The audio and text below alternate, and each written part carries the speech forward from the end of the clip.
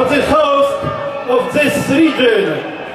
And now, I welcome the Secretary General of European Trade Union Confederation, Bernadette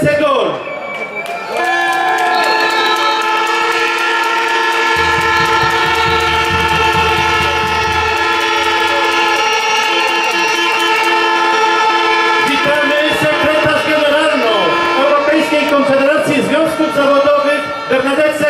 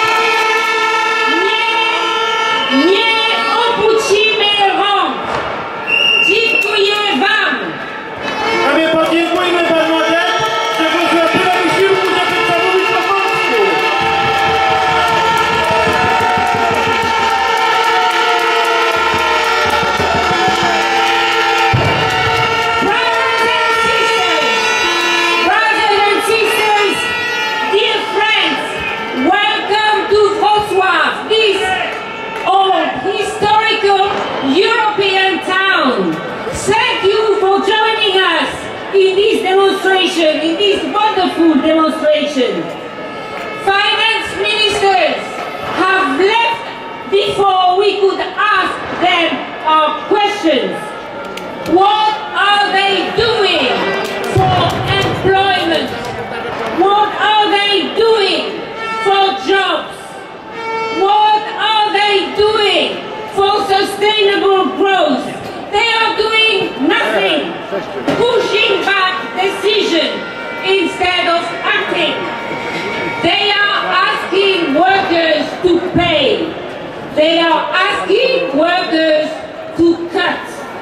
And we say no to austerity. Yes to sustainable investment. Yes to solidarity. And yes to trade union and social dialogue.